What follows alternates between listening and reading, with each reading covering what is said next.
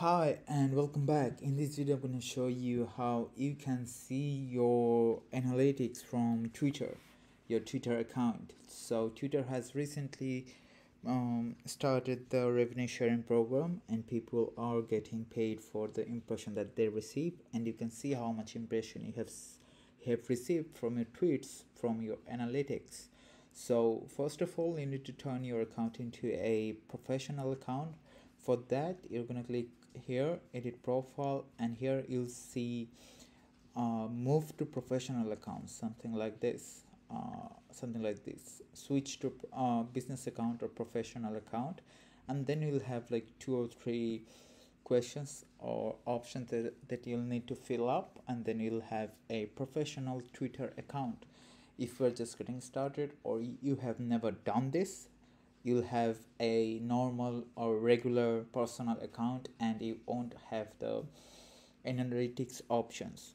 So once you have turned on the professional account or switch to the professional account uh, you're gonna click on more.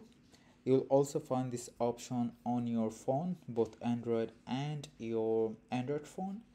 So that will be on the top left corner under your profile button and then you'll click here and go to creator studio and click on analytics.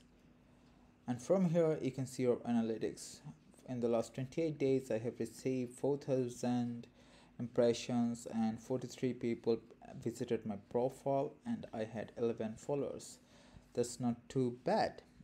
So yeah there are a few more details from here that you can see from some other people my tweets my top tweet and yeah those are the analytics how which post or which month i got the most like impressions and stuff. So yeah that's how you can see your analytics on your um, twitter profile. I hope this was helpful. Thanks for watching. Bye bye